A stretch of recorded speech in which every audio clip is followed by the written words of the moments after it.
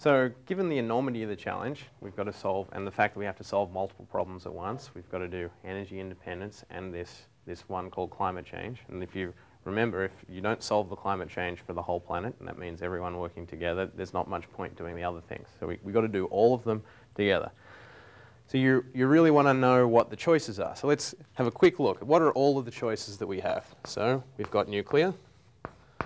And what I'm going to do here is try and make us understand wind. I'm going, to, I'm going to try and make us understand that for every single one of these, there are consequences, and there are pluses, and there are minuses. And I think the real thing that humanity has to deal with, and, and policy people, and engineers, and society, is that we have to find the right compromise. We know how we can do that. It is possible to solve the problem, but there's going to be a lot of compromises. So let's put all of them here, nuclear, wind, solar, geothermal, biofuels, after biofuels, we're going to have, uh, what am I missing here? Fusion. This is another type of nuclear. We're going to have uh, carbon capture and sequestration. This is sometimes what people call clean coal. This is where you take the CO2 from the out output of a fossil fuel and you compress it and you bury it. And, okay, so let's start there. Nuclear. Pluses, doesn't take a lot of space. It's base load power. It's very reliable. It's a proven technology, meaning we know how to do it today. We can start installing it tomorrow. On the minus side, you know, there's radioactive waste, and that's still a, a, a problem that we have to learn to deal with. Today we use uh, a, reaction cascade that leaves not a lot of um, material for sort of nuclear armaments, but if we went to breeder reactors, that's recycling the, the nuclear fuels, we'd create a lot more sort of, I think people would call it terrorist options, so that's not a good thing. One of the unseen problems with nuclear is to make a nuclear steam turbine work, you need cold water in from a river and you dump hot water back out once you've done your heat engine. So this is also, do we have enough water? There's going to be large constraints on the amount of water in rivers. Wind. Wind's a great technology, not always available. That's a minus. Another minus is requires a lot of land. The nice thing about wind is you can put, um, you can farm on the land where you have wind turbines, so that's in its favor.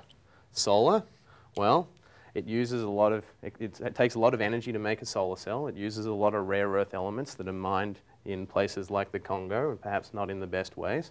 So, you know, there's the, there's a certain amount of toxicity in the production of silicon. Um, there's a land area problem.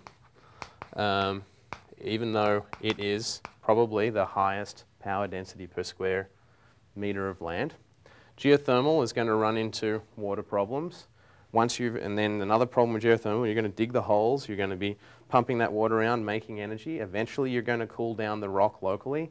Then you're going to have to move over you know, a few hundred miles, dig new holes, and you're going to be constantly digging new holes to do geothermal, um, except in some places which are particularly blessed. You know, so there's problems with geothermal.